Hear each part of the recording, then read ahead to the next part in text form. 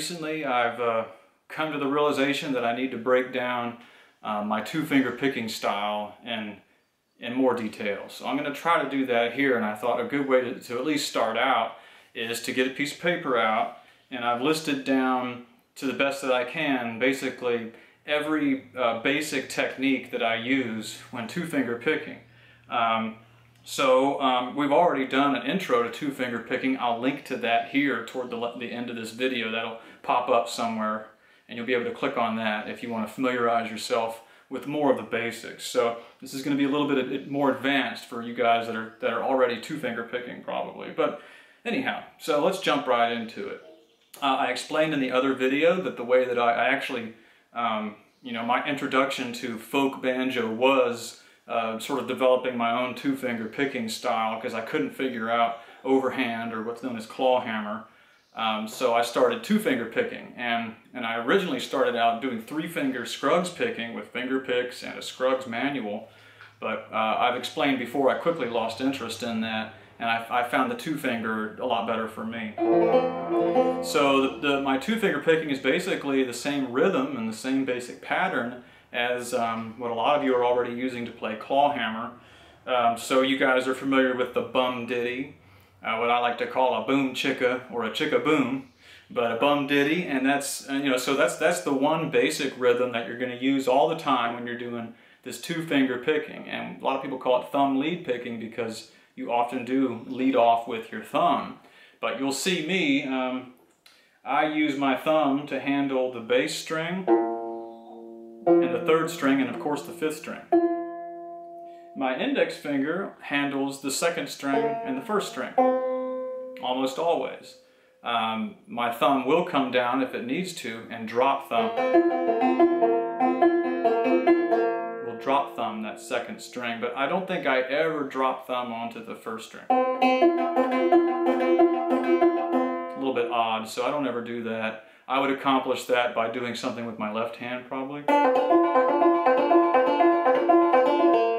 If I was gonna do that. So the basic lick is just the same as your standard overhand lick, the bum diddy boom chicka chicka boom lick.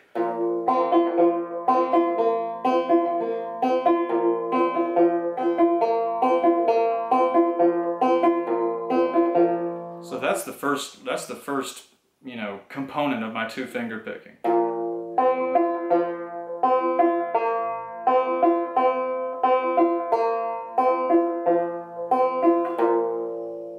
So hopefully you guys can see that okay there. Let me run through that one more time.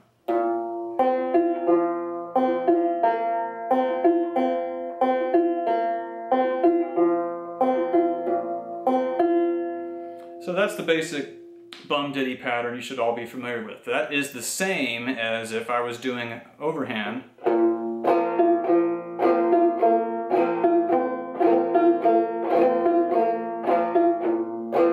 Same thing. And you'll notice when I get up to the second and first string, my index finger usually handles both the first and second string and I leave the, the fifth, fourth, and third to my thumb. So you've got that. And the other thing that you'll see me do a lot is what I, I call the two count um, rhythm, two count lick.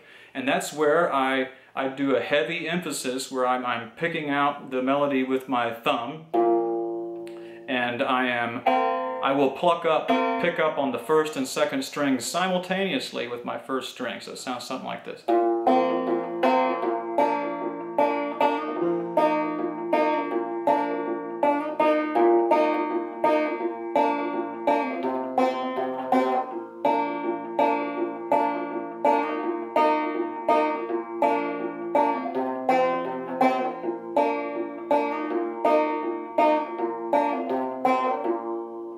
Hopefully you guys saw that there. That's pretty simple. That's just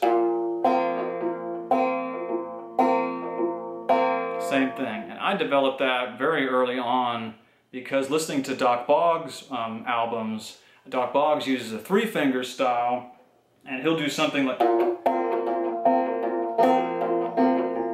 he uses his, his middle and his index finger often to pluck those two strings. Simultaneously, but since I've never been good at using three fingers, I'm a two finger picker, I was able to, I emulate that Dock Boggs sound by picking up with just one finger on both those strings. I call that the two count rhythm.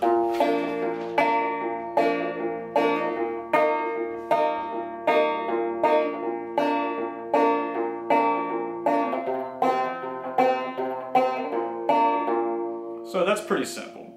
Um, the other thing we can call a three count rhythm. A, a waltz timing is when I play waltz songs. So, um, and then I'll often, you don't have to do it this way, but I'll often pick down with my thumb. I'll pick out the entire melody of the waltz with my thumb, and I'm brushing down with my with my fingers and coming off on the thumb. So that goes something like this.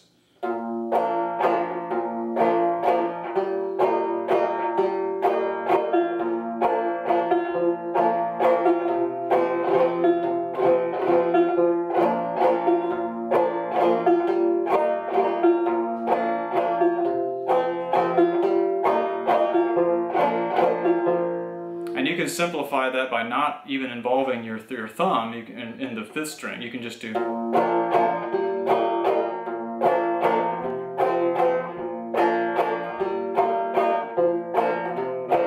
I count that as part of my two finger picking because when I'm in, in my waltz songs in between, I'll two finger pick. And you don't have to do the, the downstroke brush. You can accomplish that same sound with what we learned in the two, the two count rhythm where you're plucking up on those two strings at the same time, something like this.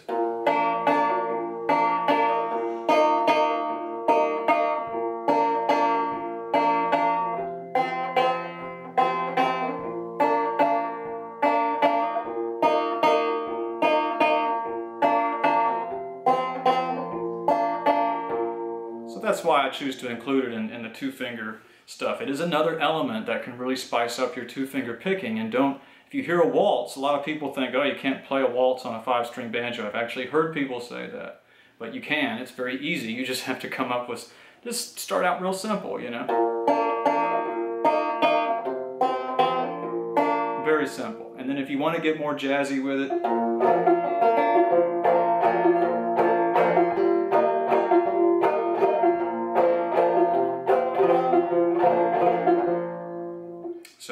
that's the, with the waltz or the three count rhythm. And I can show you my drop thumb lick on this. It's the same as you would do overhead.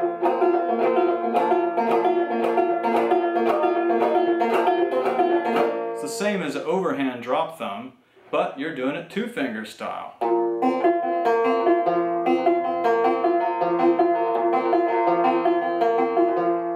It's just, it's just the same, um, unless you wanted to do like this.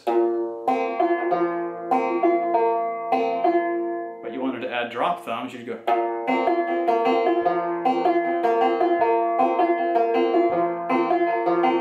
It's the same as the claw hammer drop thumb, it's just you're accomplishing that same rhythm with two fingers.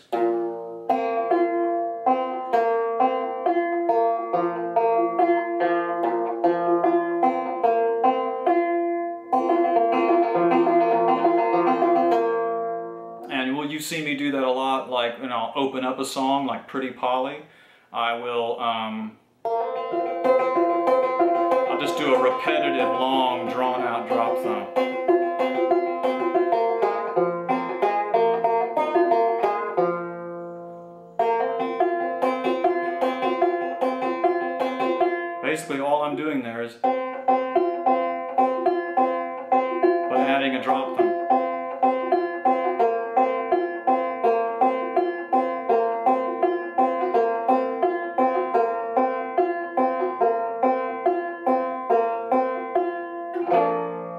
Drop thumb rhythm you can do. Um, and I want to show you guys, if you're not using a, what I call a pinch, that's basically you take your thumb and your index finger, pluck those outer strings at one time. A pinch, that's an important element in a lot of people's two-finger picking. Roscoe Holcomb comes to mind. He employed a lot of this. He would do a kind of a drop thumb lick and end out each one with a pinch, and it gives this kind of chick chick boom chick chick boom kind of rhythm. I can try to accomplish it.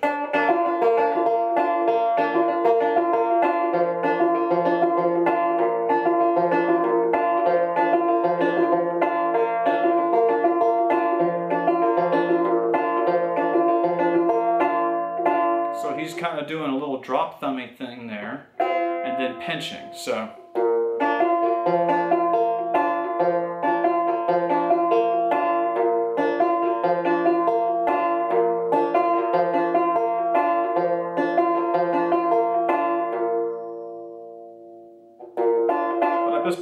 To show, that's pretty advanced. I just want to show you guys the pinch. I mean, that's something you can work in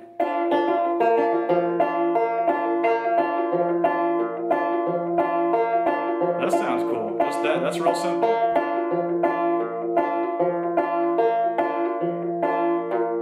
So that's what I call a pinch. Um, then I can show you guys what I call a double note. You see me do a lot of double notes. That's where I do a, a hammer on and a hammer, a pull off and a hammer on in quick succession on the same string to accomplish this sound.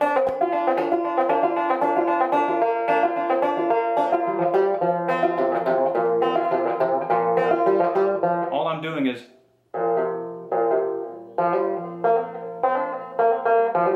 you know that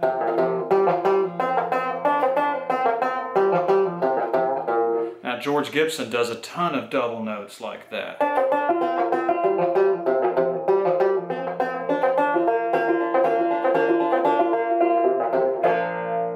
double note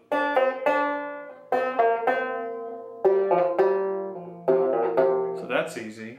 And uh, one more thing I want to show you is you can incorporate some down picking technique into this, what I'm going to call the, the four finger brush. Uh,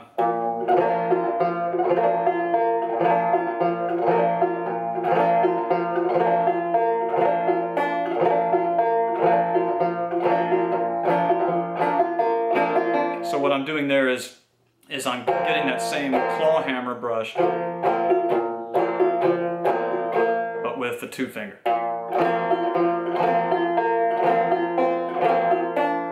Okay guys, we're about out of time for this, um, but thanks for watching and let me know what you think of that if you want to see any more. And uh, yeah, take care. You'll see me soon.